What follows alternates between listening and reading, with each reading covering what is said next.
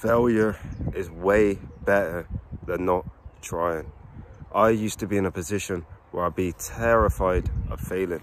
I'd be petrified of failing. I'd be so afraid of what would happen, of what people would say, of this thing, this circumstance, all these things. And I would never even try. But in reality, you're better off trying and failing than not trying at all. Because you're going to grow a lot more when you try and you fail than when if you didn't fail at all. Because let's think from the perspective of you try, you fail at something. Then you have to pick yourself back up and you've got to try again and you've got to better yourself again. That's going to have an amazing effect on your mental health because that's going to teach you discipline in the sense of when things are going wrong. That's going to teach you the idea that you need to keep trying and keep trying even when things aren't going 100% your way. And that's going to adapt a lot better in your life in the future. But let's say you didn't try at all, you didn't take that step out of your comfort zone, you didn't try to do that thing at all, you are not going to experience the same growth to any degree like you did before, like you did in the other circumstance. Because even if you fail, you have to pick yourself up then. You have to deal with the loss, you have to deal with the hardship, you have to deal with the sad emotion, if that makes sense. And you got to re light that fire in you. You got to get back on that path of trying to better you, trying to sort that situation out. And that has a true, true effect on you. That has the true effect on you. When you fail and you try again, and you may start winning and in that thing, that's going to have an amazing effect on your mental health because that's going to teach you not to give up when things go hard, when things go wrong, when times get tough. And that's what I've had to learn overall. Every time I've not tried to do something that I felt the urge to do because I was afraid, because I was scared, because oh, it's out of my comfort zone, I never got anywhere in myself and I didn't even reach any confidence in myself because why would I? I'm not giving myself a stimulus to grow in a sense. Let's even put it into the perspective of you're in the gym. When you're lifting weights, you're putting your muscles under tension.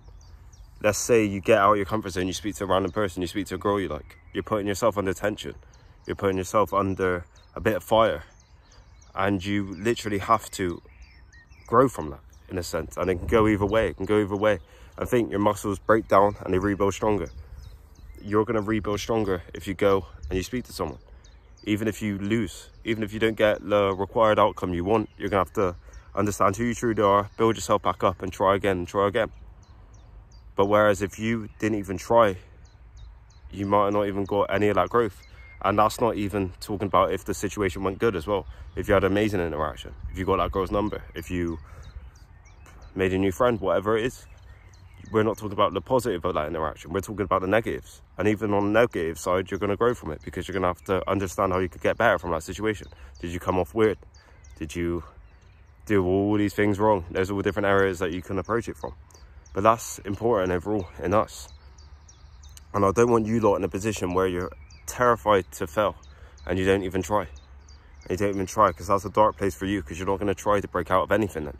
You're not going to try to break out your comfort zone. You're not going to try to literally get out of anything. And that's going to be terrible for you because you're not going to see any growth in yourself. And automatically, all the growth that's come in myself has come from me stepping out of my comfort zone. And it's cliche, everyone says this, I know, but it came from me stepping out of my comfort zone saying, oh, I need to try this new thing. I need to get myself into this thing, into this, into this, and try this, and try this, and try this. And automatically having a level of resistance in trying something new therefore I've grown from it. Therefore I learned about myself differently. Therefore I've built myself in that, even if things weren't going wrong. Let's say when I used to do kickboxing. When I used to do kickboxing, I started sparring after training for a few months.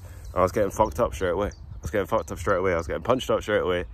And I could take that either two ways. I could take that in the way of, oh, I'm shit, or I'm terrible, I can't do this.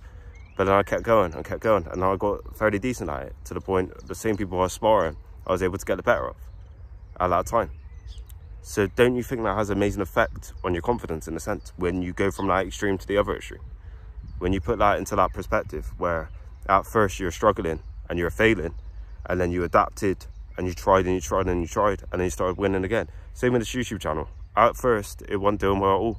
Now it's doing fairly decent that's me growing and growing and growing. And sometimes you got to get beat up a bit in order to learn, in order to get better. Sometimes you have to get that. And that's what's happened with me in all different things, in all different things. Even in the gym, I've had to struggle and I've had to not know what I'm doing in order to get better at it, you know? And even now I struggle sometimes, but I get better at it as well.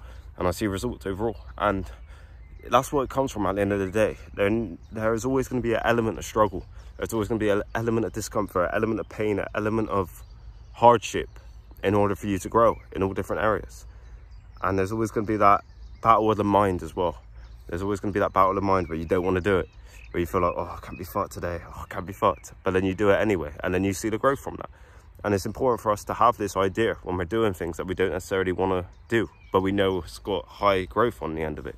Let's say you want to meditate. Let's say you want to meditate and you don't really feel like it at this moment.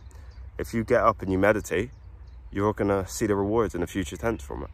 But if you didn't do it, you're just going to stay in the same same path. You know what I mean? Let's say you didn't go to the gym when you when you wanted to go to the gym. You are not going to see the same growth that you would have got if you went to the gym. And we can direct this in all different areas and all, the, all different things. But it's important for us to understand this in comparison to not trying at all. I'd rather fail miserably. I'd rather try something new and fail and grow from it than just not try at all and not grow at all.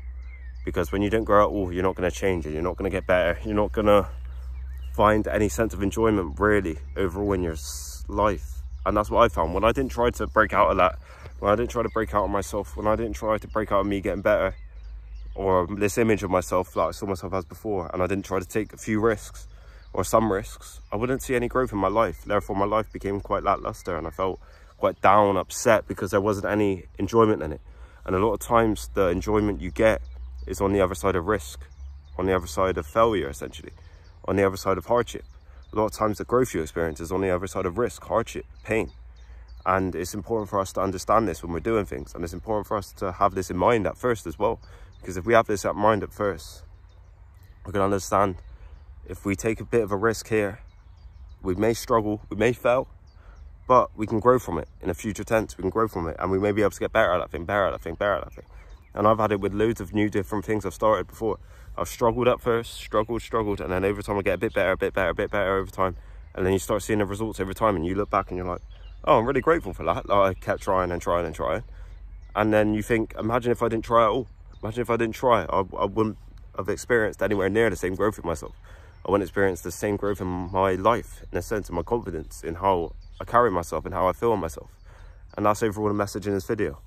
Don't be afraid to fail, because you're going to grow if you fail.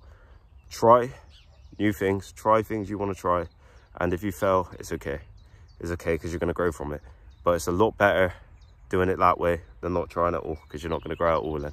And that's the message in this video. I hope you lot got a lot of value in this video. Like, comment, and subscribe. Thank you all love recently. Thank you.